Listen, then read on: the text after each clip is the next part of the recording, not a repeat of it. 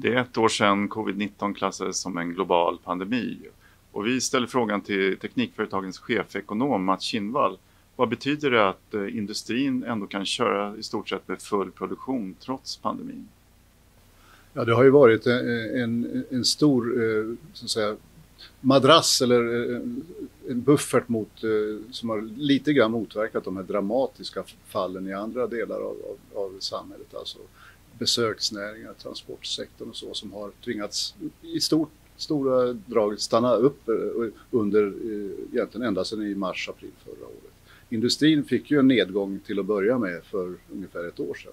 Det var inte kopplat till svenska nedstängningar, det var ju kopplat till att våra grannländer där vi har mycket underleverantörer eh, och leverantörskedjor klipptes av.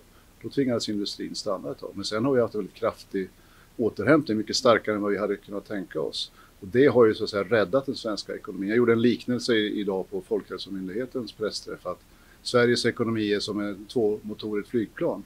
Den ena motorn har stått still sedan förra våren kan vi säga. Eh, den andra motorn som är industrin, den har ju då tuffat på och där, på så vis har det svenska flygplanet kunnat uh, ha fortsatt luft under vingarna. Vad är det då man har gjort i industrin för att kunna köra trots att pandemin hela tiden lurar där? Ja, det är uppenbart när vi talar med medlemsföretagen att de har ju följt eh, Folkhälsomyndighetens rekommendationer väldigt eh, strikt ända sedan eh, förra våren.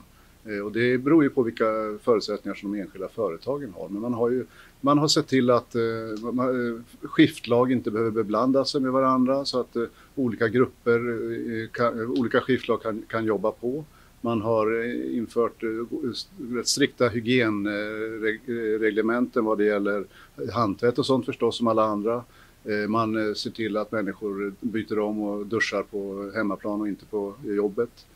Och så vidare och så vidare. Och det här har sammantaget då lett till att till exempel Scania i Södertälje med 16 000 medarbetare på sajten bara haft sex smittfall under hela den här perioden. Men som sagt, jag skulle säga det är, det är representativt för hur, hur medlemsföretagen har, har hanterat det här. Och återigen, beroende på förutsättningarna för det enskilda företaget har man ju vidtagit olika typer av åtgärder. Hur länge kan industrin fortsätta producera på den här nivån trots restriktionerna? Ja, jag skulle säga de restriktioner som ligger just nu eh, utgör inget hinder för produktionen för, för, inom teknikindustrin. Eh, de, de drabbar ju framförallt andra, del, andra näringsgrenar inom, inom, i Sverige. Men det kan ju vara väldigt känsligt. Ponera att man inför exempelvis krav på att eh, medarbetare ska ha vissa, hålla vissa avstånd inom, inom fabrikerna. Det kan, ju vara, eh, det, det kan ju vara tillräckligt för att produktionskedjorna inte längre fungerar och att man då tvingas göra nedstängningar, åtminstone minska produktionen.